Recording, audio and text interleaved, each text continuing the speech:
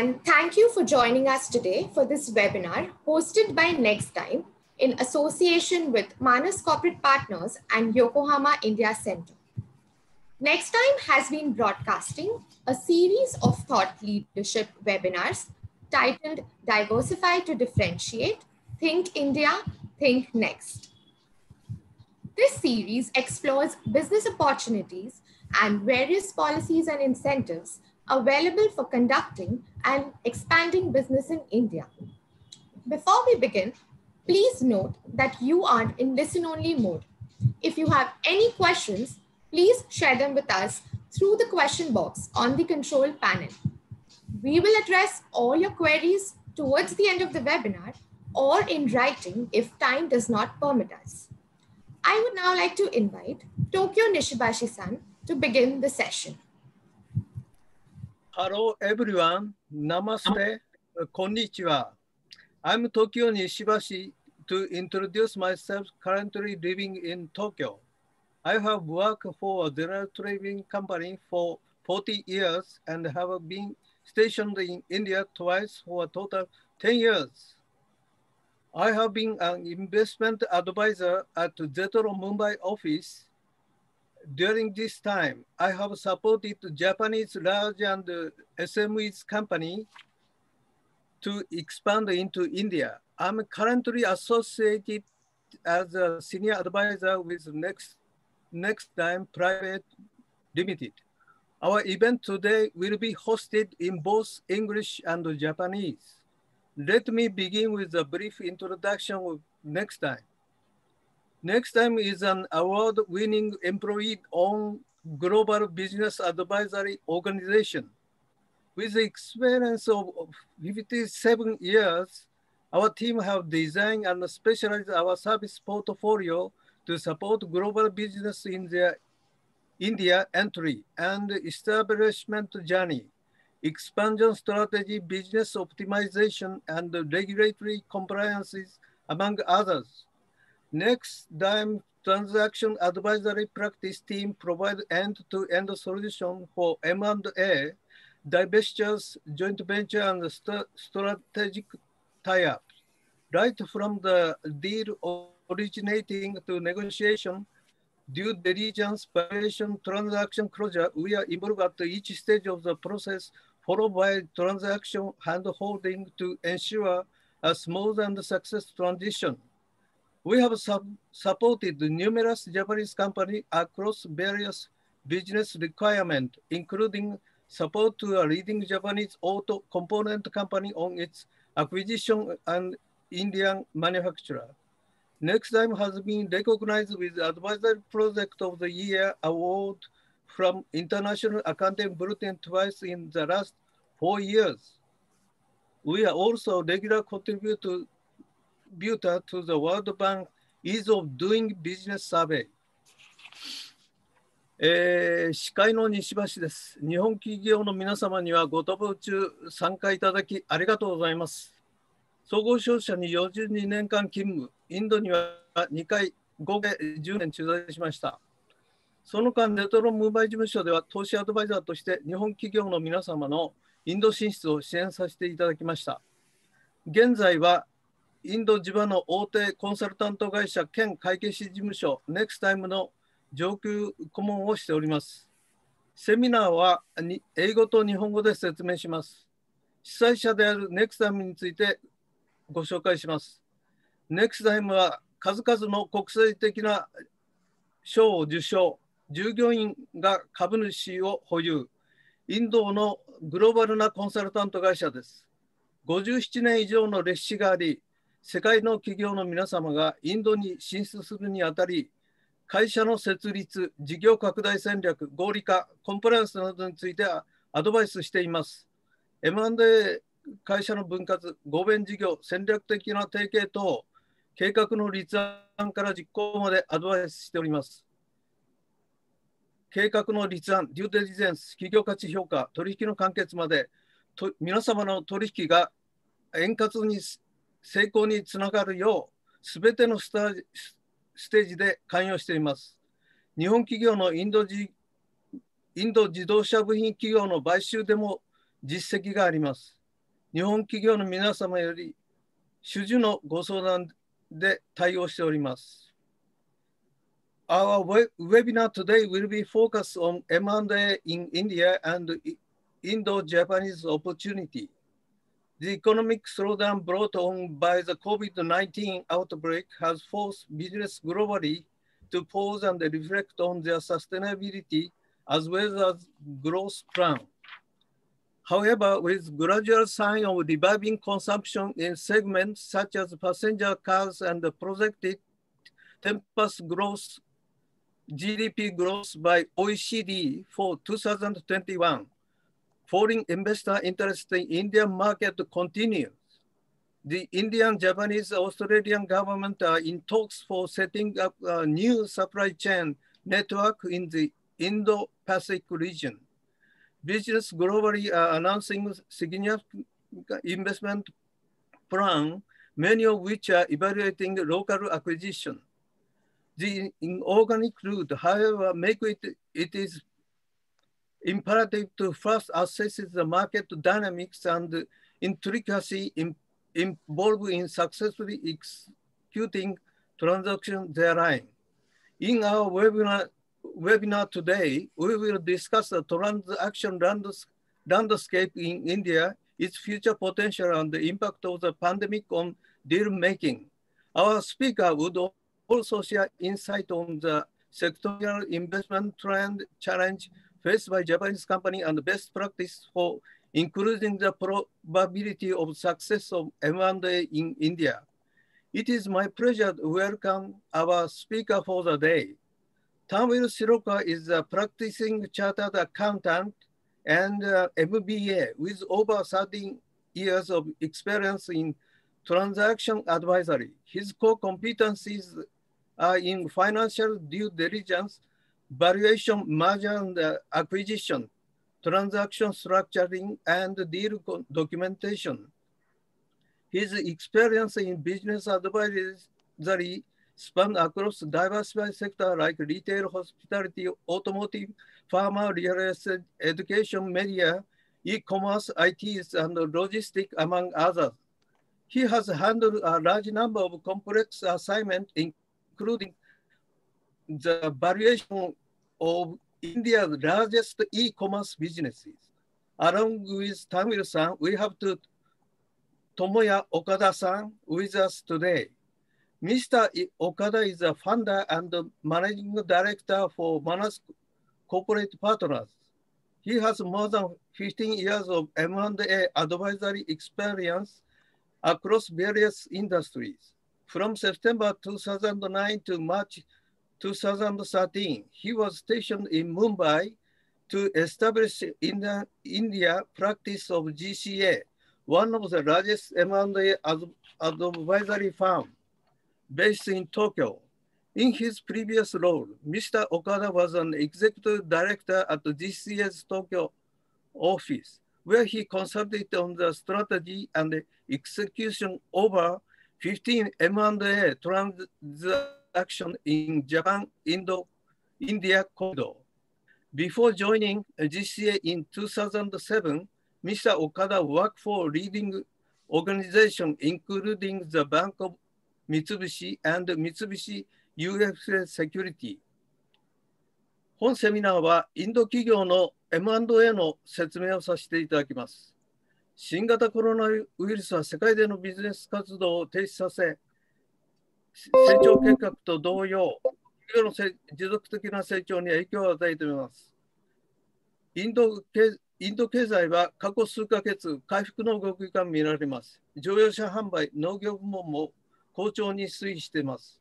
OECD はあ2021年の GDP を10%増と見込んでおります。インド太平洋地域で ASEAN 各国を、ま、巻巻き込み、製品部品供給もサプライチェーンの新たな構築のため、インド、オーストラリア、日本政府は協議体を設けることで合意しました。中小企業を含む日本製造業は大きなチャンスがあります。GAFA と欧米企業はコロナ禍にもかかわらず大きな成長が予測される巨大な市場を狙い、巨額投資を表明しました。M&A は積極的に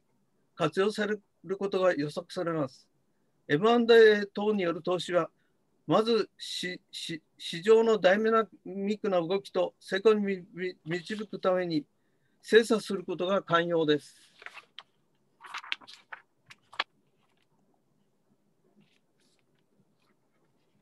今日のセミナーでは、インドのこれまでの M&A 取引概要と今後の有望な分野、新型コロナが及ぼす影響について説明します。登壇者は事業分野ごとの傾向、日本企業の皆様が直面する課題、インドにおける成功の果実を増やすためのベストプラクティスについても情報を共有します。それでは M&A 分野で顕著顕著な実績を残した登壇者2名を紹介します。トップバッターのタンウィル・白川さんは10年以上の経験をお持ちの直教会計士で MBA を取得しています。特筆とするする分野はファイナンシファイナンスデューデリジェンスなど M&A に絡むあ分野です。対象分野は、えー、多岐にわたっております。タンウィルさんの次に登壇いただくのは岡田智也さんです。岡田さんはあえ日本におけるインドの、えー、M&A の第一人者です。現在、日本でマナス、えー、コーポレートパートナーズとしの代表として活躍されています。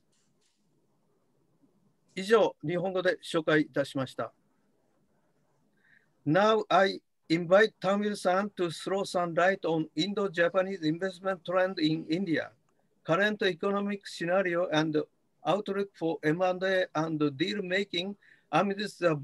prevailing crisis. Please, Tamil-san. Thank you, Nishibashi-san. Uh, uh, next slide, please. Yes, so I would be dividing my presentation in three sections. The first, I would be speaking on FDI in India and what is the trend of Japanese investments into India. The second section, I would be speaking upon COVID impact on the businesses and what are the opportunities uh, for investments uh, on account of COVID. And the third section, I would be speaking on what are the key things which an investor needs to consider while doing an M&A transaction in India. Next slide. So in this first slide, uh, let's see the FDI trend in India. Uh, so just to give you a perspective, uh, in uh, India with 1.3 billion population is amongst the top five economies of the world uh, with a GDP of around 3 trillion US dollars. So India's inherent attractiveness lies in its untapped potential of large consumer market. Uh, uh, FDI in India has been on a long-term growth trend because of government's efforts to improve uh, ease of doing business in India and relaxing FDI norms. in last two decades, the FDI flow in India has been around 470 billion dollar. You can see on the screen how different continents have contributed to the FDI in India. Uh, Japan's FDI investments uh, in India is around 33 billion, uh, which, which makes its fourth largest uh, investor in, direct investor into India. Uh, the top three are basically the tax havens like Netherlands, Mauritius, and Singapore, from where the FDI has come. the sectors where uh, typically the Japanese investments have come are major are automobile, uh, drugs and pharmaceuticals, and service sector. Uh, uh, so basically, India and Japan have had close ties for many years. you know, there are around 10,000 plus Japanese nationals residing in India, 1400 plus registered Japanese companies registered uh, in India, and there are more than 5,000 establishments uh, in India. Uh, next slide.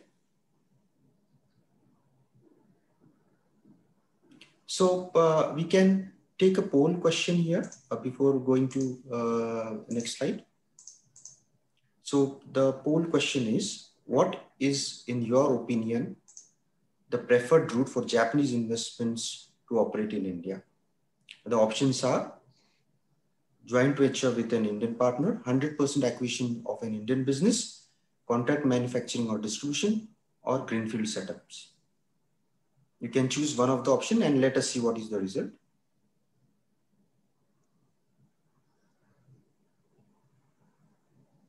Do you have the result? Uh, Pooja?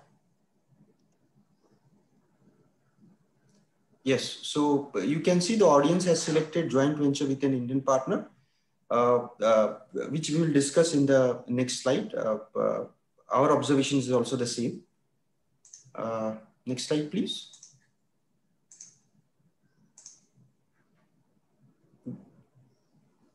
So uh, basically, uh, in this slide, I would be just talking about the Japanese M&A in India.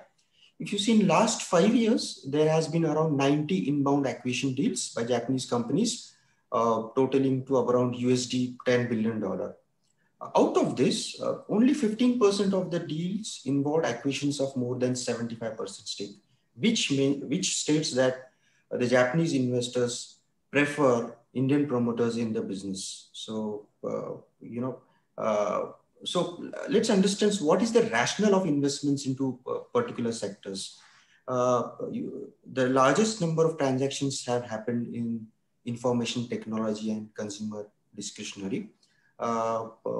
though the deal size could be small, but the volume is large. Uh, basically the rationale for investment into information technology is because of investors' interest in Indus talent, technology, and customer acquisitions. Um, under consumer discretionary, the investments has happened in automotive and uh, equipments, uh, and the rationale of the investor is to enhance the product portfolio. As you may know, Japan is heavily invested uh, uh into India. Some of the uh, big names uh, like Suzuki, Toyota, Honda, Panasonic, Hitachi, Sony, they have direct or indirect uh, establishments in India. Uh, you can see in the table below some of the uh, you know key transactions uh, and uh, the sectors.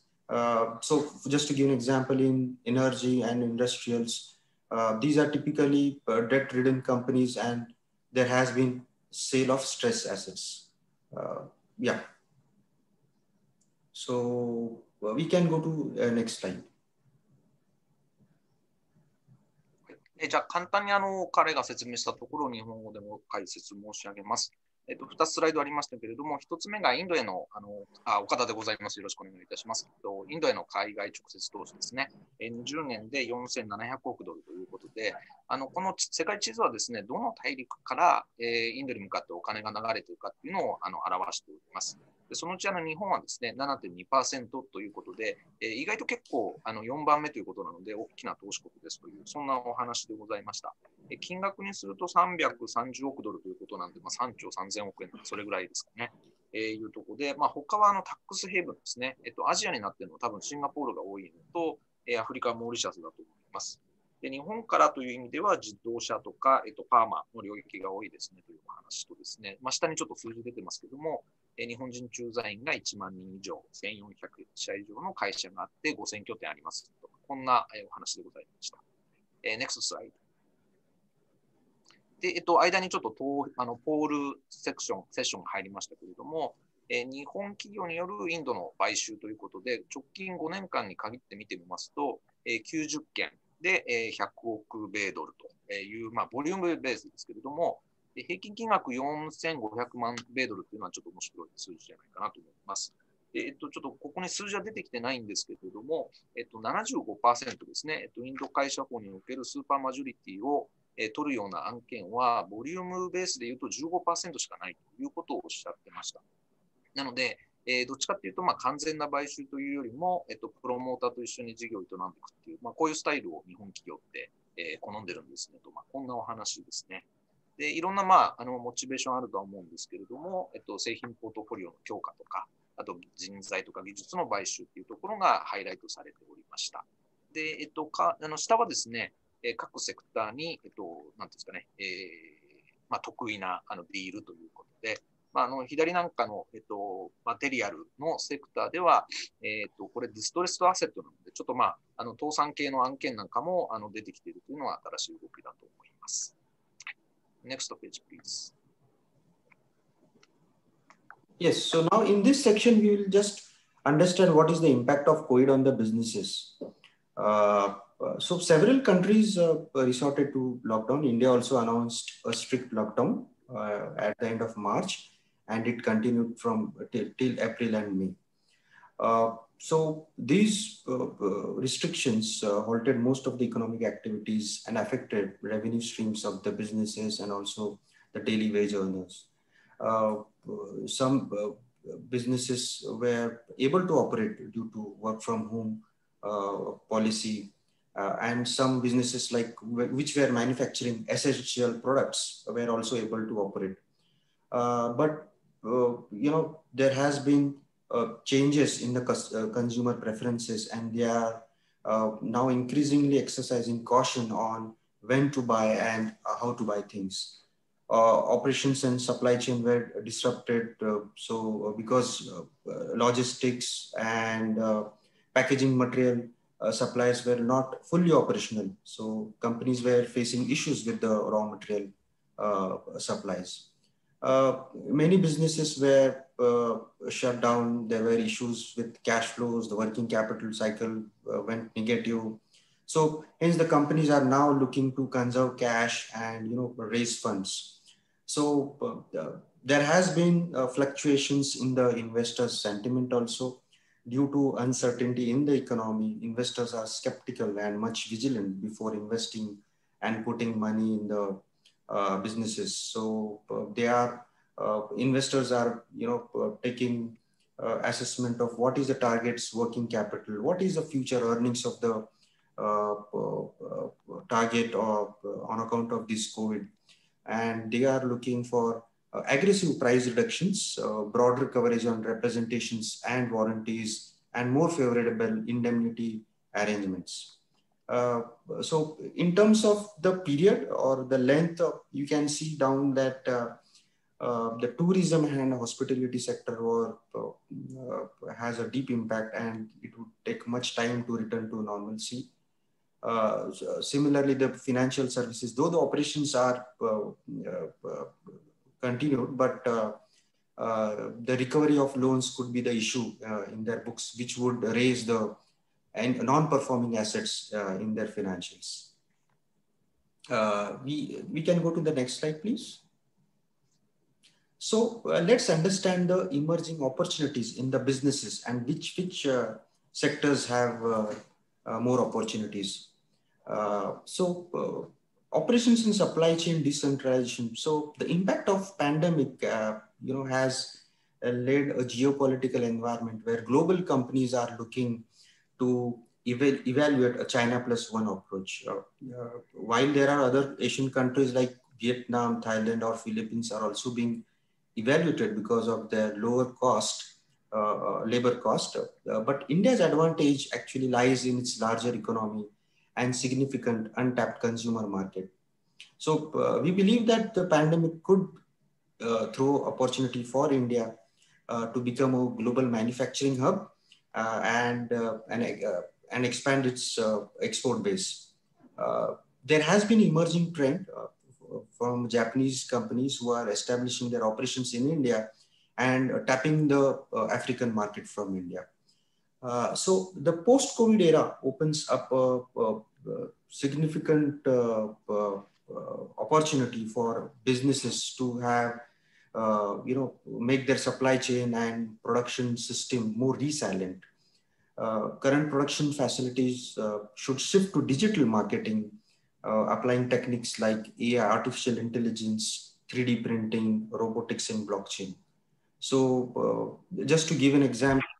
uh, some companies like Ford, which manufactures vehicles, were uh, manufacturing ventilators during the COVID 19 uh, uh, uh period. Uh, then Bacardi was manufacturing hand sanitizers, and there is Indian Ordnance Factory, which manufactures defense equipments. during the COVID, they started manufacturing ventilators. So uh, the, the logistics and supply chain system should become more resilient and dynamic and should be more uh, be flexible. So we need to uh, see this type of uh, things coming in future. Uh, there, there is a lot of opportunities on account of stressed asset sales where the companies are uh, trying to focus on their core operations and trying to uh, evaluate their group structures and uh, divest the non-core assets through mergers, demergers, business sales, winding down of non-operative companies. Companies are looking for funds infusion uh, to fuel their cash flows and uh, pay off their debts. So these type of opportunities are coming. Uh, there is a lot of opportunity in technology, travel restrictions and social distancing, distancing norms have created a need for advanced technologies in serving people. Uh, there would be automation required in uh, manufacturing and supply chain, and that, that we see a continued uh, accelerated trend just to give a perspective, there are several technology startup companies in India which have been badly impacted on account of COVID. And such startups provide a good opportunity for Japanese investors to uh, for integration and absorbing complementary technology. Uh, so uh, from the sector perspective, we can see uh, Uh, opportunities uh, in healthcare. Uh, healthcare has ignited a spark of innovation in healthcare uh, industry. So uh, there has been offerings through telemedicine, you know, internet-based platforms to serve the people just to let you know health healthcare sector needs upgradation at every level right from infrastructure development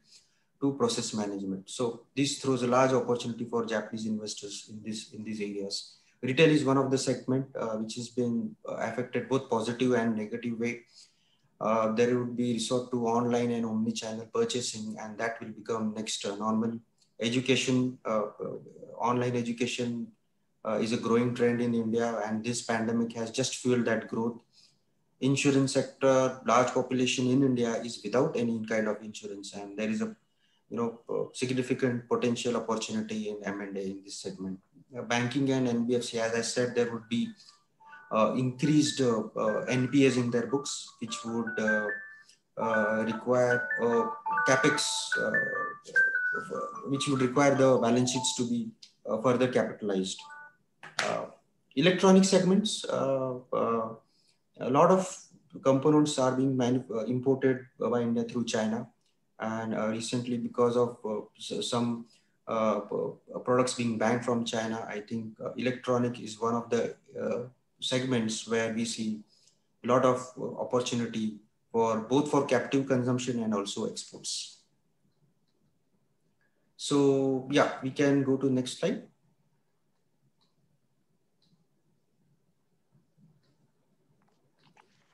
So let's understand uh, uh, what are the initiatives between the two countries. So recognizing the potential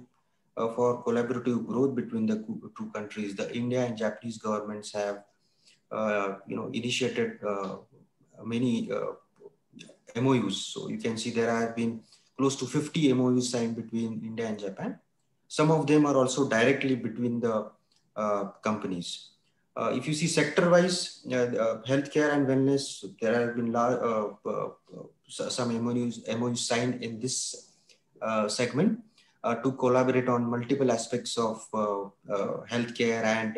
human resource development.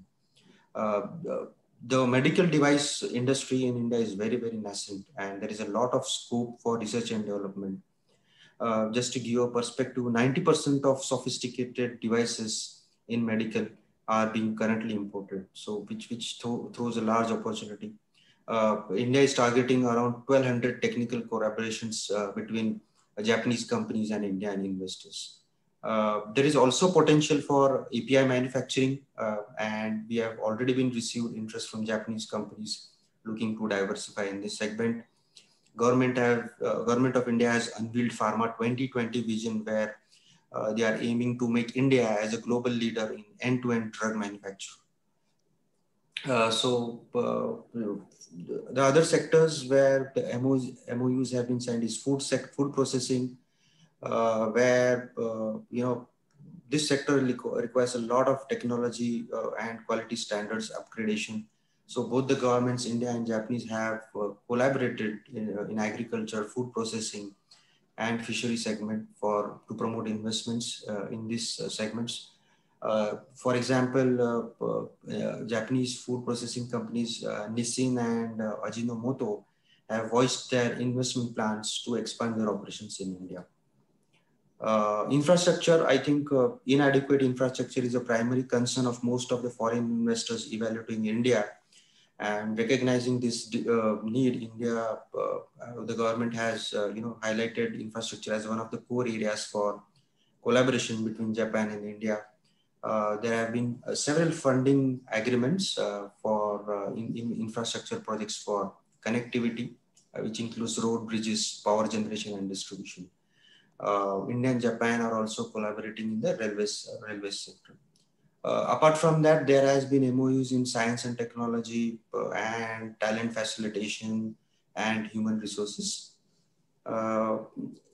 the in India there has been uh, Japanese industrial townships been uh, set. There are approximately 12 chosen sites in India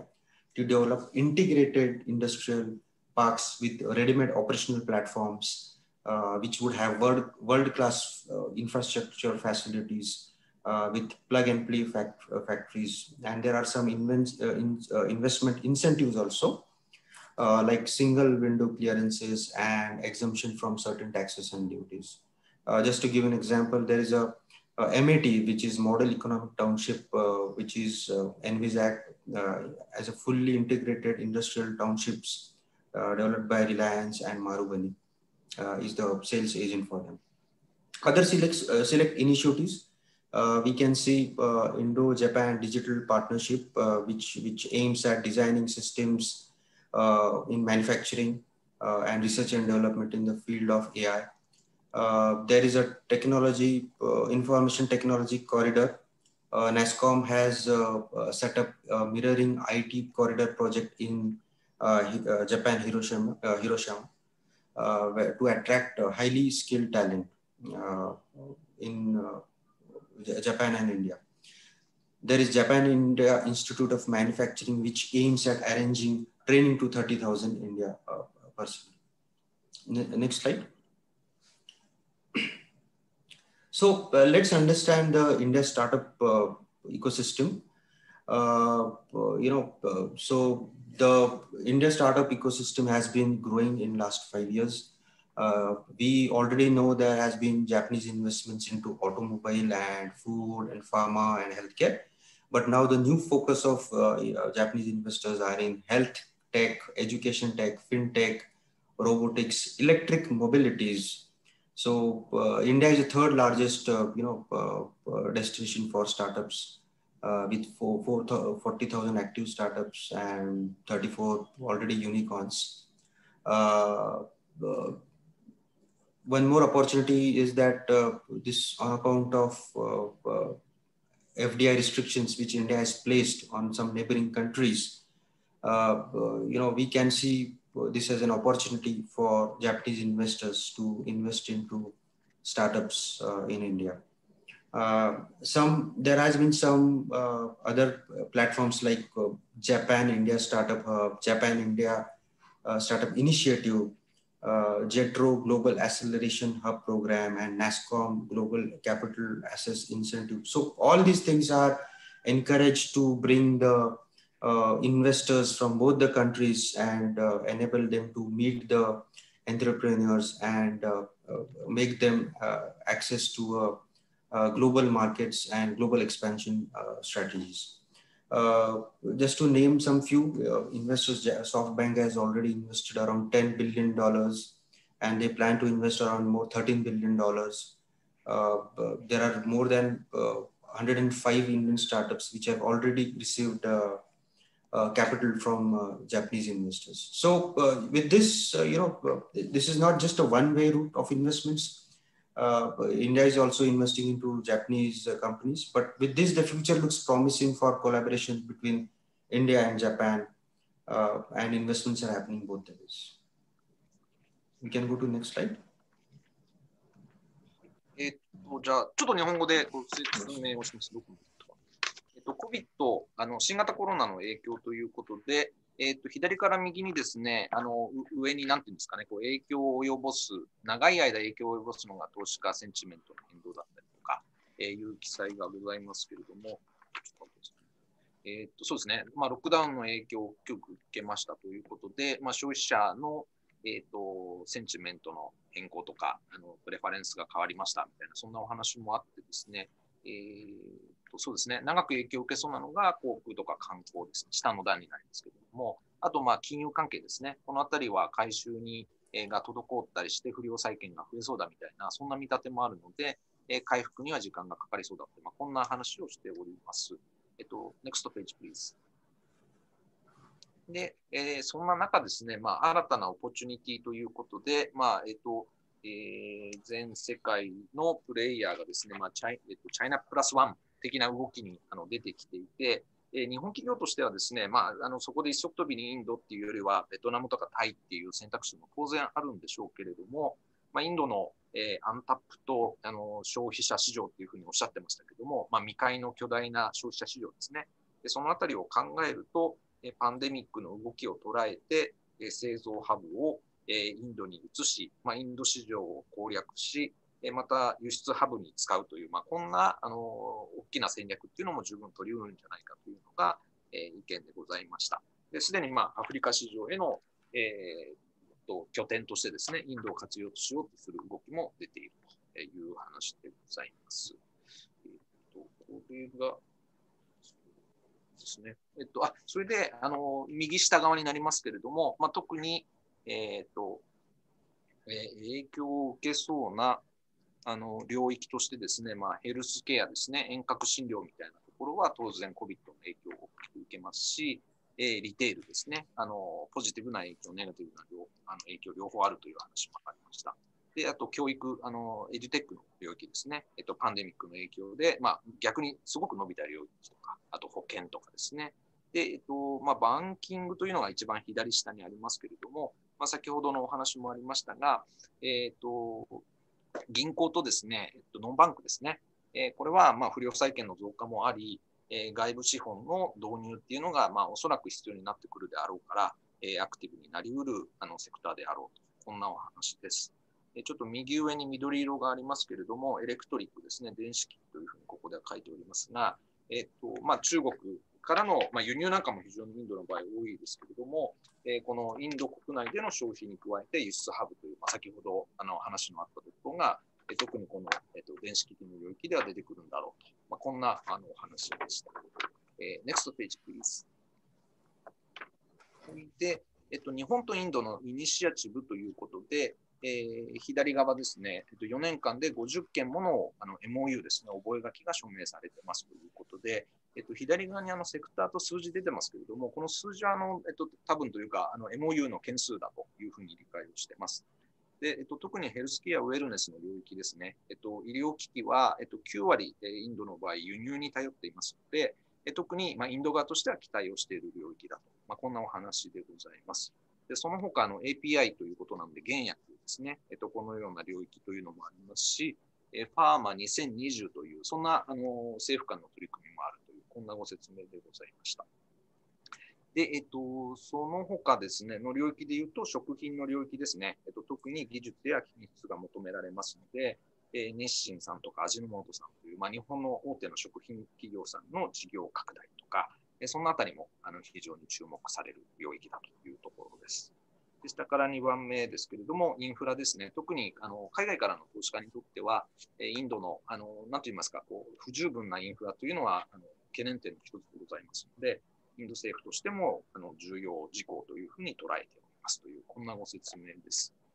で、えっと、まあ、右側にいろんな特別なイニシアチブということで、日清デジタルパートナーシップとか IT コリドーみたいなお話もありますけれども、えっと、真ん中ですね、日系の工業団地ということで、ジャパニーズ・インダストリアル・タウンですかね。えー、これがまあ12件開発中というようなお話で、えっと、ございまして、えー、そんな、まあ、ここにいればですね、まあ、シングルウィンドウということなので、まあ、あの、なんですかね、いろんなとこ行かずに、ここで、あの、一括で物事が済んじゃうという、そんなお話と、あと、あの、租税関係の減免措置なんかも受けられますという、こういうお話ですね。で下の方にちらっと書いてありますが、丸紅さんと、えー、リライアンスで、えっと、ジャジャール工業団地、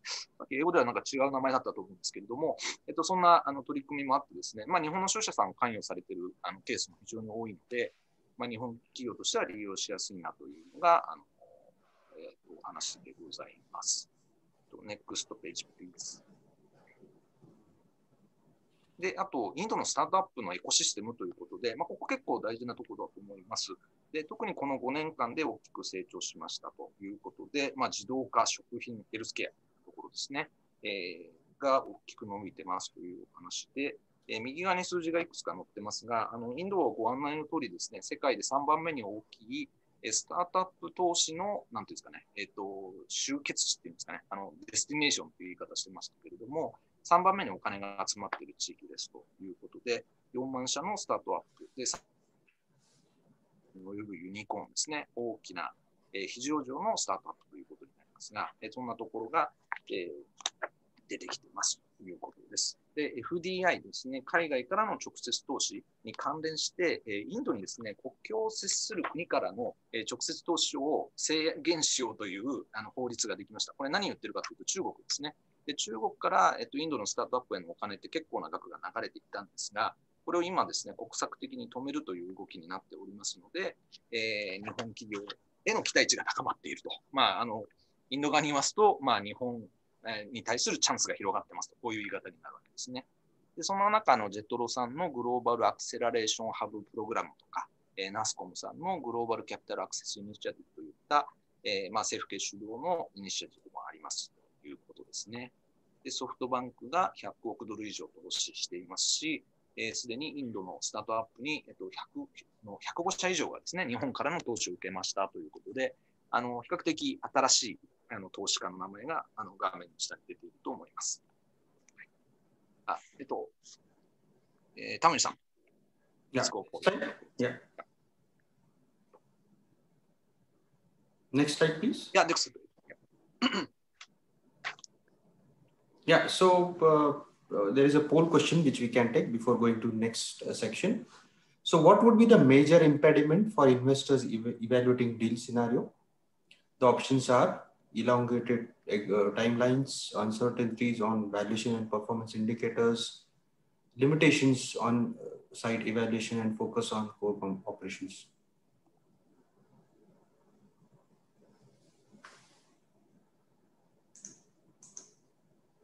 Yes, so we can uh, have the results, please. So, uh, so valuations and performance indicators seems to be the uh, major uh, thing. So let's let's understand in the next section.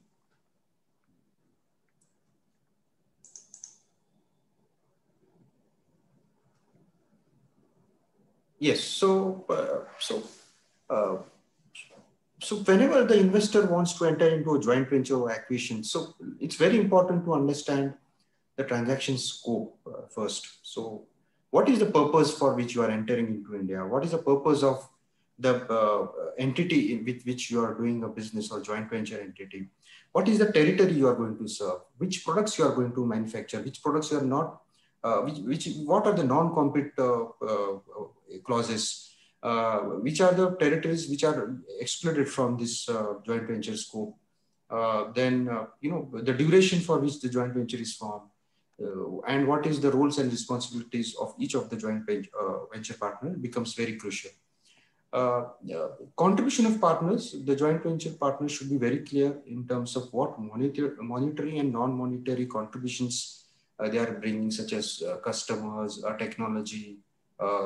know-how, regional know-how, assets, so uh, these things very uh, are very crucial. Uh, then what happens to the intellectual property which have been developed by the joint venture or how the at the time of exit how the intellectual property will be transferred. So these things are very important when you do a business with a partner in India. uh, then uh, the desired shareholding will depend upon the contributions which you make to the joint venture partner and how much control you want in the joint venture. Uh, so a business plan evaluation has become very uh, crucial now because of the COVID impact, because it has affected the revenues and cost of the target. So one needs to understand what is temporary and what is a permanent, how the business's cost has uh, impacted operational cost of the factories, uh, you should understand the future cash flows and the impact and what is the working capital requirement going forward. Uh, is there any uh, difficulties in meeting debt obligations? So we need to evaluate a standalone business plan as if uh, you know uh, the business was continuing uh, before the investor comes. So this evaluation is very crucial. there are different ways to value the businesses of the target. one is asset approach, market approach, income approach but we should understand that what is, uh, for example, in market approach, you take EBITDA multiple or PAT, multiple, but what is a normalized earnings or going forward becomes very crucial. Uh, we should also do a sensitivity and scenario analysis. You should question the going concern of the entity. Uh, you should understand that the, the cost, there is an increased cost of capital to do the business. So while discounted cash flow method uh, would be uh, become a, a preferable uh, basis, though it depends upon the industry to industry, but DCF could be uh, seen as a preferred uh, method. both the parties would be looking for a transaction structuring which which addresses their valuation uncertainties. buyer would look for a structure that helps limiting his downside in the event the target doesn't deliver as per the projections. Uh, and the seller would want to uh, prefer a structure that allows him the upside uh, if, if some results are delivered uh, once the investor comes into uh, the company. So uh, in terms of due diligence, of course, financial and tax due diligence, apart from the financial and tax due diligence, the other due, due diligence are also very crucial. Uh, but uh, uh, due, due to COVID, there are some challenges like visit to factory could be a challenge because because of travel uh, and social distancing norms. Physical form of data would be difficult to access, but now the data is being made available through virtual data room. But the team working on due diligence should be informed about the confidentiality rules and policies, as most of them would be working from home. Uh, so uh, you know, these are the aspects which, which are crucial while doing the due diligence. Uh, but the big, bigger question is uh, which, you should understand uh, because some data may not be available or uh, uh, because uh, like tax and registers and GST registers are maintained in hard copies, so they might not be digitized. there are some challenges in getting the information, but but we should stick to you know the potential of the business, understanding the potential of the business, uh, question the going concern, understand the impact on uh, earnings going forward. What is the normal? What is the, uh, you know uh, what is a permanent? This this this should be understood and how it will impact the earnings going forward. So this becomes very crucial in due diligence. So uh, next slide. So let's understand, uh, uh, you know, normal the purchase price adjustments, how we can structure the transaction in this slide. Normally the term sheet captures the manner in which you have to pay the purchase consideration. Uh, so what happens is you have a purchase consideration, but it is subjected to adjustments on account of quality earnings uh, and net debt uh, and working capital as on the closing date. So quality of earnings adjustments are uh, typically adjustments to the reported EBITDA and profits on account of non-recurring transactions, accounting compliances, or other non-business expenses and unrecorded expenses. So uh, uh, net debt adjustments, it depends upon how you are structuring the uh, transaction, but these are typically uh, stretched uh, liabilities and the other additional obligations which, which might be, uh, you know, on the seller going forward. working capital, as I said, we need to be very clear what is the working capital as on the closing date and what could be normal and what is uh, permanent. So, so, uh, so these things are very important to understand and how it will impact going forward. Uh, so, the, so the transaction documents should clearly uh, define the components of targeted working capital and net, net debt for the purpose of calculating equity value at the time of closing. Uh, so uh, the second section is how you structure the payment mechanism. Uh, because of these economic uncertainties and inability to agree on valuations, uh, there is possibility of many deals being structured as earnouts or deferred mechanisms to safeguard the interest of buyer and seller. So for example, earnout allows the investor uh, to pay a portion of purchase price at a later date, being a date when the target firm achieves uh, a predefined uh, financial and operating uh, milestones uh, post transaction. For example, you can pay 60% upfront and 40% subject to earnout. So the advantage to the buyer is that it mitigates the risk of uncertainties and it uh, you know protects the purchaser from overpayment. And from the seller's perspective it also helps them to participate in the performance of the company going forward. Uh, there is a deferred payments mechanism also but it is subjected to uh, foreign exchange regulations uh, in india. Uh, you can also structure through payments through manager compensation or uh, redeemable preference shares something like that uh, the third, you can the third uh, section is you you should bring out properly all the reps and warranties uh, in the share purchase agreement or joint venture agreement to protect the in, uh, you know interest of uh, the, the investors. you can create an escrow account where you can keep certain certain portion of cash settled aspects in escrow account uh, Uh, so uh, you can also resort to certain uh, uh insurance uh, coverage for losses on account of COVID. So, so we need to bring out all those things in SPA and that's how you can you know, protect the, reduce the impact of uncertainties going forward. Yeah, so Okada-san, next slide. Oh, yeah. yeah. はい、えー、で企業価値評価とデューデリジェンスということで、えーと、まずあの田村さんから話があったのが、まあ、その取引の対象と範囲ですね、これが非常に大事ですねということをおっしゃってました。えーと、合弁を作る場合とかも含めてですけれども、その事業の目的とか、えー、どのエンティティで事業をやるかとかですね、テリトリーって言ってましたけど、これあの事業の範囲ですね、インド国内だけなのか、海外も含めるのかみたいな、そこが、えー、結構重要ですという話でした。で何を作り、何を作らないというあの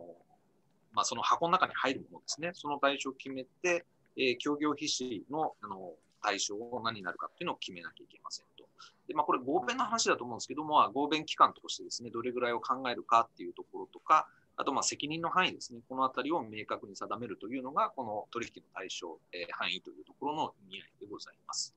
で、えっと、パートナーからの提供付加価値ということですが、あのコントリビューションという言い方をしてましたけれども、あの単にお金を入れるだけじゃなくて、えっ、と、非、なんですかね、こうお金じゃない貢献っていうのもあるでしょうということで、え、お客さんであったり、技術であったり、ノウハウであったりですね、えっ、と、地域的な、えっ、と、まあ、地域に関するノウハウっていうようなお話もありましたけれども、まあ、それが、えーそれを、まあ、きちっと明確化する必要がありますということです。で、例えば、あの、合弁会社の場合ですね、そこで作られた IP を誰に、あの、知的財産権をですね、誰に帰属させるかというお話、特に、え合弁を解消するときに、あのどっちに、え帰属するんだみたいなお話を規定しておくことが非常に大事ですという、まあ、こんなお話でした。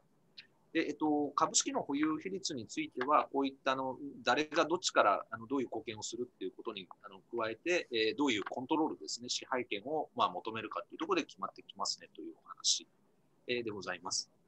で4番ということで、企業価値の方法ということで、えー、まあ、特にこういうあの状況下ですので、えっと、新型コロナの影響が一時的なものなのか、それともずっと続いちゃうものなのかっていうのを、えー、区分けする必要がありますと、こういうことでございます。特にあの将来のキャッシュフローを見るときにですね、えー、必要になる運転資本の額とか、え、借り入れの返済にあの支障が生じてないかみたいなところをあのきっと見ていきましょうということでございます。で、えっと、アセット、あの資産、えーをアプのアプローチとか、インカムアプローチとか、マーケットアプローチっていうのもいろいろありますけれども、例えばマーケットアプローチですね、あのえっと、株価倍率でバリエーションをやる場合、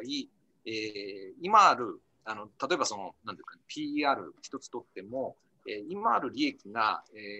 ーと、正常的な収益を表現しているかどうかちょっとよくわからないので、でこのあたりを調整する必要があるので、あの、感濃度分析とかですね、シナリオ、いくつかのシナリオを変えて分析するっていうような、えー、プロセスが必要になってくるということでございます。まあ、あの、なので、ちょっとおすすめは DCF というか、あの、いろいろ多分数字に落として、こうなったらこうだねっていうのが、あの、協議しやすいということだと思いますけれども、あの、DCF をベースにするのがいいんでしょうねということをおっしゃってました。で、ちょっと考えなきゃいけないのが、そのキャピタルコストがですね、えっと、こういうご時世なので上がってきますというところが、えー、ちょっとバリエーションには当然影響してきますので、えー、見ておかなきゃいけないポイントとして挙げられています。はい。で、えっと、まあ、ちょっとダウンサイドを回避するためにストラクチャー工夫するとか、えー、アップサイドをちゃんとセラーが取れるような仕組みを構築するっていうような話もここで出ておりました。はい。で、デューデリについてはですね、下半分ですけども、えっと、財務税務の他にも、えー、いろいろ大事なところはありますということで、まあ、IT とかリーガルとか当然書いてあるんですけれども、えー、足元ですね、工場見学ができないっていうので、えっと、非常に、まあ、ここはちょっと大きなチャレンジではありますけれども、えー、あとは、あのー、電子化されてないあの帳票ですね。えっと、具体的には、複数のレジスタとか GST という話が出てましたけれども、あのどうしてもあの書面ベースでしかないものはあの確認がちょっと難しいので気をつけなきゃいけないっていうところと、あのまあ、意外と思ってんだなと思ったんですけども、あのワークフロムホームという状況なので、あの秘密、あの守秘義務というかですね、あの情報の漏洩ですね、これはちょっと気をつけなきゃいけませんということが、えー、言われておりましたということでございます。はい。それで、まあ、デューデリにおいてですね、先ほども話ありましたが、将来収益に影響するえー、ものが一時的なのか、それとも永続的なものなのかというのをあのきっちり見極めてくださいという、えー、まあ、見極めのあの専門家になると思うんですけれども、えー、いうお話でございます。で、えっと、ネクストページ、プリーズ。はい。で、えっと、コマーシャルリスクへの対応ということで、まあ、あの交渉した金額というのが左上にあって、右下に売り手への最終支払いというふうに書いてありますけれども、まあ、ある程度の金額で合意したあの M&A 取引の場合ですね。で、それで買収枠の調整ということで、えー、例えば、まあ、基本合意でいくらぐらいで買いますという合意をしましたと。で、その後で、えー、デューデリにおいてですね、あの、利益のクオリティっていうふうに書いてありますけれども、PL の内容を精査して、えー、思ったような EBITDA じゃないというときは価格調整当然しますけれども、あと、あの、準有利子負債調整とか運転資本調整ってありますね。で、えっと、今、足元ですね、特に、あのかえっと、支払いを繰り延べて、えー、資金繰りつけてたりっていう会社もありますので、えっと、当然ですね、この重利子負債というところで、えー、っと、なんですかね、こう対価の調整をそのあたりも含めてやる必要があるというようなところでございます。なんで、ちょっと、あの、一時的に、あの、ワーキングキャピタルがですね、あの歪んでる可能性がありますので、あの例えばその回収が滞ってたりとか、あと支払いを止めてたりですね。でこのあたりを適切に、えーと、精査して価格に調整させなければいけませんと。こういうことでございます。なので、あの契約書においてはですね、あの本来あるべきワーキングキャピタルの額とか、えーと、ターゲットになるネットデッドの額というのを規定して、そこからずれた分は価格調整しますという、こういう仕組みを、えー、入れ込みましょうというところです。で真ん中の支払いのストラクチャーというところは、アンアウトとか延べ払いとかですね。要は、あの、えっと、頭では6割だけ払って、残りの4割は目標達成したら払いますみたいな、こういう仕組みを取ることで、買い手にとっては払いすぎを減らし、で、売り手にとってはちゃんとパフォーマンスの対価を得られるという、まあこんなあのところを入れましょうという、まあ、あの欧米の M&A では当たり前の仕組みですけれども、ちょっと気をつけなきゃいけないのは、あのインドの場合、外為規制で、このあたりですね、結構制限されますので、えーまあ、ちょっと握ったはいいけど、規制上できませんみたいな話はちょっと避けたいので、うまく弁護士と連携が必要です。まあ、こんなお話ですね。で、最終契約においては、あの損害賠償規定とか、あのエスクロですね、あの一部あの、売り手が触れないところにお金を置いといて、取り返しやすくするとか、まあ、そんなお話、まあ、これも外為規制かかってるんですけれども、えー、っと表明保証、あとあの保険の話も出てましたね。あの最近、えっと、欧米ではすごく一般的になってきて、えー、日印のディールでも徐々に使われ出してます。なので、えっと、日本語で対応してくださるブローカーもいま、ブローカーさんもいますので、えうまくあのリスクを減らすためにですね、こういう保険を活用するっていうのは結構いい手段じゃないかなと、こんなふうに思います。はい、NEXT page, please. あ、OK。えっと、えっと、一応ですね、ここまででターンウィルさんのあのパートということで、ちょっとお時間もあんまりないので、クイックに、え、私、岡田の方のプレゼンテーションに入らせていただきます。私もちょっと日本語で説明して、その後、あのちょこっとですね、英語で、えー、説明します。海外からのオーディエンスもいらっしゃるということですので。はい。えー、NEXT page, please. はいえー、改めまして、あの岡田と申します。えっと、マナスコーポレートパートナーズという会社をこの4月からですね、運営しております。えー、日の M&A にフォーカスしたファームということでございます。あの冒頭、西橋さんからもご紹介いただきましたが、えー、前職 GCA のですね、え、インド事業の立ち上げということで、2009年から3年半ほどムンバイに駐在しておりました。で、えっと、そこから仕掛け10年ですね、えっと、日印の M&A をずっとやってきたという、まあ、こんなあの人間でございます。で、ムンバイ駐在当時はですね、あの西橋さんがジェトロのアドバイザーでいらっしゃって、えー、私もあの、えっと、3歳と6歳の子供を連れてって駐在してたんですけれども、えー、毎週末とは言わないですけど、まあまあ、毎週末ですね、あの西橋さんと奥様が、えー、ご自宅にお招あの招いてくれてですね、あのホームパーティーみたいなのをやってくださってたということで、えー、多分あの今回のセミナーもあの当時の駐在されてた方は何名かご参加されてると思うんですが、あのムンバイのお父ちゃんお母ちゃんみたいな、そんなあの方でございます。はい。えー、NEXT page, please. で、えっと、前職 GC 時代、まあ、いろんなインドの、えー、マンデーをお手伝いしましたということを記載しています。えっと、please skip next page. And... あ、next page, please. And...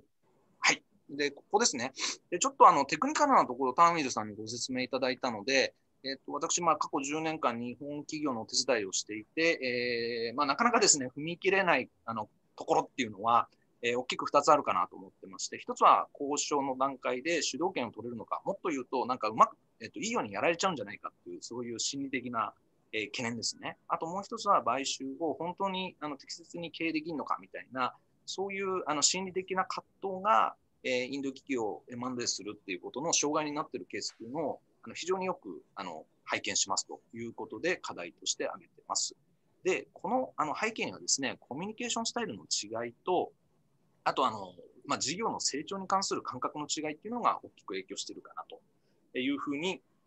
えー、と考えております。ちょっと英語で話します。えっ、と、from my 10 years experience for Japan、uh, India M&A space, I found、uh, two psychological barriers are there uh, for Japanese company when they consider uh, M&A, doing M&A in India. The one is if we can take initiative in the negotiation phase. And the another one is if we can manage daily operation uh, in post-merger phase.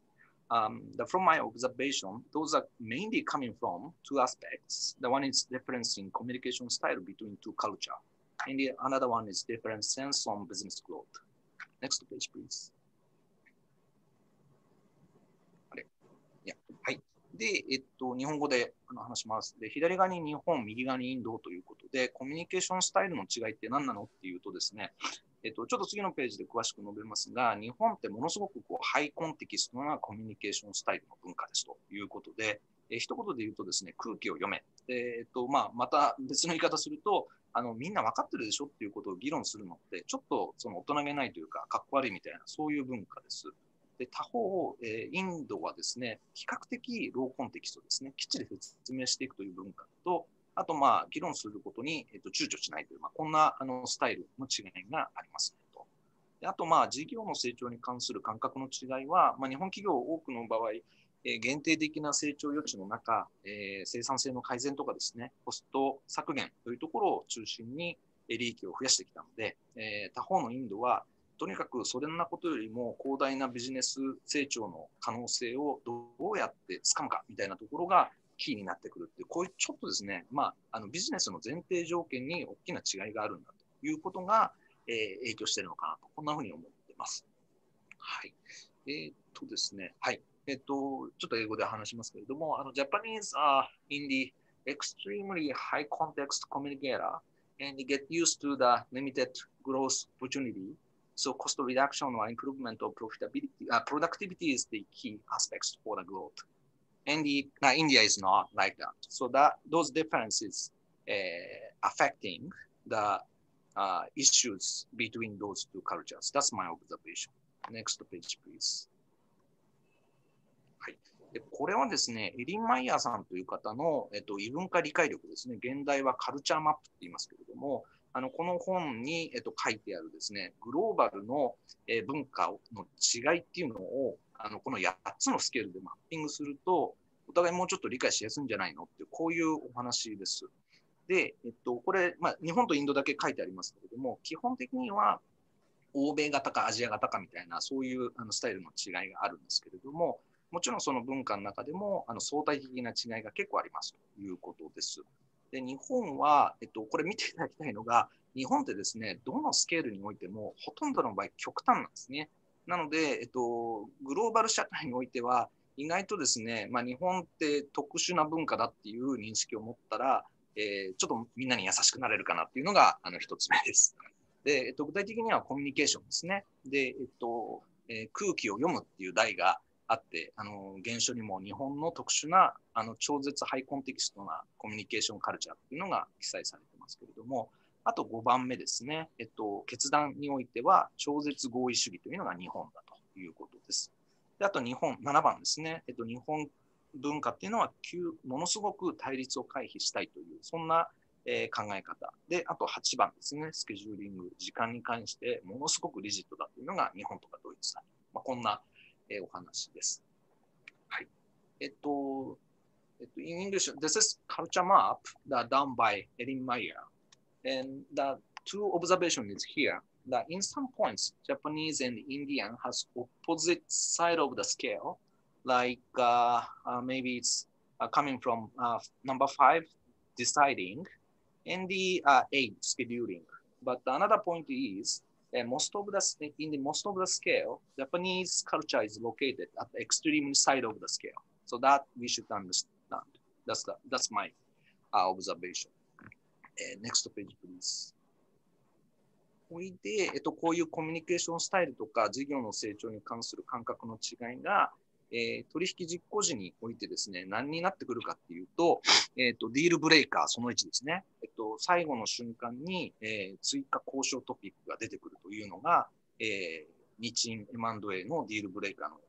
あのお話です。でどういうことかというと、えー、3ヶ月間の間ですね、交渉のチームリーダーが、東京のヘッドクォーターとやり取りを進めながら、合意ベースでですね、物事の、えー、ディシジョンメイクするためのあのプロセスを積み上げていきますと。で、で最後に残った5つの論点があるんで、えーと、東京側にですね、えー、今日が最終契約、あの最終交渉ですと。で、あの5つ論点あるんで、3つ譲って2つ勝ち取って断しますみたいな報告を上げて、交渉に臨むと。で、そうすると、えーとプロモーターからですね、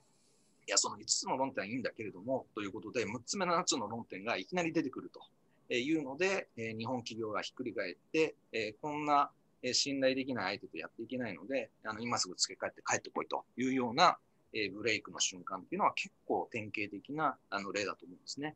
なので、えっとまあ、これってあの先ほど見られたような、え、コミュニケーションスタイルの違いっていうのを適切に把握してればですね、まあ、あの、しょうがないというか前提みたいな部分って結構あるんじゃないかと思うんですね。なので、まあ、あの、この、この後に及んで何を言うかという、えっ、ー、と、対立回避型、えー、の、あの、日本のスタイルに関して、まあ、今言わない、今言わないで、後から出てきた方が問題だろうっていう、あの、スタイルと、えー、まあ、そういう違いかなというふうに思ってます。なので、私の方からは、日本企業の皆様には、えー、例えばということで、えひょっとしたらこういうこと言ってくるかもしれないので、えー、備えておきましょう。みたいな、そんなアドバイスを申し上げてます。その時大事なのが、多分この相互に尊重するって、そんな、えー、観点かなと思ってます。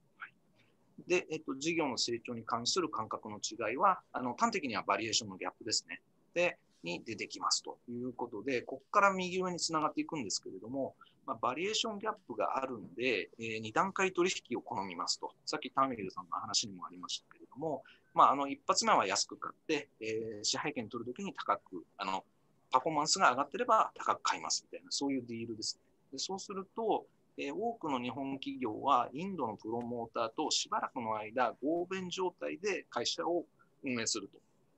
いうことになってくると、右上ですね、ドライバーズシート問題というのが出てくるというのが、えー、日本企業にとっての課題でございます。で、これ何かというと、えっと、私がインドにいたときにですね、日本企業と合弁を組んでいる相手方のインド企業のプロモーターさんからですね、俺はこの会社の経営を任せると言われたんだと。で、なので、ドライバーシートに座ってるのは俺なんだと。にもかかわらず、え横に座っている日本人がですね、やれ右行け、左行け、えブレーキを踏め、アクセル吹かすなみたいな、そんなことを言ってくると。で、たまらんとっていう、こんなお話ですね。で、これ何から来てるかっていうと、やっぱり事業の成長に関する感覚の違いですね。日本企業にとっては、えー、インドの経営者がやってることって危なっかしくてしょうがない。なんで、えー、インド側はですね、自動車を安全運転してるつもりなんですけれども、あの日本側からしてみると、ジェットコースターに乗せられているような感覚になります。こういうことです。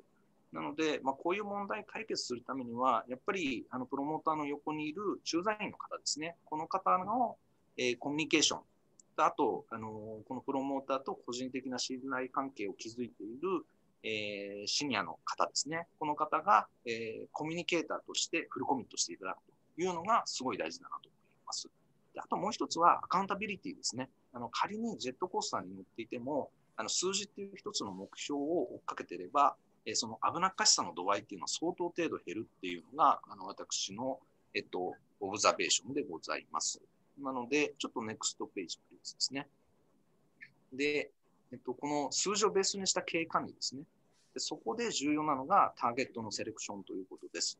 で、えっと、プロモーターファミリーが、えー、保有している会社っていうのはちょっと怖いなというのが、え、私の、えっと、感覚です。で、プロモーターファミリーって今の経営者は3代目なので、えー、っとですね、グループ会社っていうと、えー、いとことか、はとこが持ってる会社っていうのもファミリーの中には含まれてます。で、えっと、まあ、おじいちゃんの代から枝分かれしたファミリーがそれぞれ事業を運営していて、で、そのグループ間の取引って結構あったりですね、え資本を持ち合っていたりということで、あの、ちょっと見た目にはですね、どういう風になってるかっていう数字の全体像が分かりづらいというのが、えここでの問題です。なので、えー、うちが投資するこの会社がですね、グループの他の会社の、えっ、ー、と、なんか悪影響をですね、簡単に受けてしまうみたいな事例があるので、こういうのってできれば避けたいなっていうふうに、えっ、と、思いました。で、他方、財閥のグループ子会社とかですね、プロフェッショナル経営者がいる会社ですね、ファンドのポートフォリオとかがそうだとですけれども、あとスタートアップ。で、この人たちは、えっと、経営状態とか KPI を適切に株主に、えっと、説明する義務を常に負っている会社なんですね。なので、えっと、こういう会社であると、あの、アカウンタビリティの仕組みが整っているので、え中身が見えやすいというのが、あの、メリットとしてあると思います。まあ、なんで、ちょっと本当はプロモーターの、あの、なんですかね、こう政治力の活用と、あの、プロコンはあるんですけれども、まあ、こういう会社を選ぶことで、より、あの、なんですかね、こう見えやすい、あの、ディールにつながる、あの、経営につながるということが言えるかもます。あと、こういう定量的なところとは別に、えっと、定性的になりますけども、カンパニーセクレタリーですね。でこの人のあのが誠実な人かとか、えー、この人のあのクオリティというと失礼になっちゃうんですけども、まあ、人柄とか能力はどうかっていうのを見てくださいということを言ってます。でこのカンパニーセクレタリーというのは、えっと、インドの会社のコンプライアンスとかガバナンスを担当している方なので、えこの人が真面目だったり優秀だったりすると、結構いい会社っていう、そんな言い方できると思うので、えここもデューデリジェンスで見るポイントですね、というところでございます。であと、まあ、ちょっとあのテクニカルになりますけれども、規制に関する知識で、えっと、交渉がひっくり返ったりしますので、えー、インドに詳しい弁護士とか FA を使って、えっと、ディールを進めるっていうのはあの相当大事ですと。こんなお話です。えー、いうのがちょっと私からのプレゼンテーションでございます。はい。えっと、ちょっと英語ではですね、あの、in, えっと、so I have made a, presentation in a previous page. えっと、can you,、uh, can you go back to previous page? Yes, yes. はい。で、えっと、to, to observation ですね。で、I always advise to Japanese client that we should prepare for the last minute, the additional topic to negotiate. That happens, but that, that is coming from a difference in communication style. So we don't need to think that, that that is the kind of nasty negotiation. That's not the case. So that is the one. So that's the preparation of our side. That is one. And the other one is